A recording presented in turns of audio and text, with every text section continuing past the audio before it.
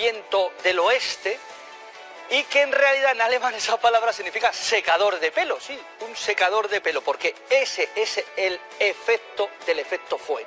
Cuando el viento sube por una montaña y baja por la otra ladera y en el camino se ha dejado la humedad, se reseca y además al bajar se recalienta.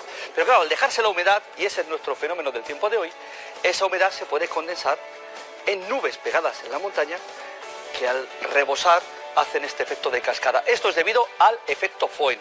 El Foehn en la cordillera cantábrica pues eleva las temperaturas de Santander o de Bilbao, por ejemplo. En Andalucía, el Terral, que también es un efecto Foehn en Málaga, eleva las temperaturas de Málaga y en este caso en la Sierra de Cantabria, en La Rioja, el efecto Foehn nos dejaba esa bonita cascada de nubes que nos enviaba Meteosojuela.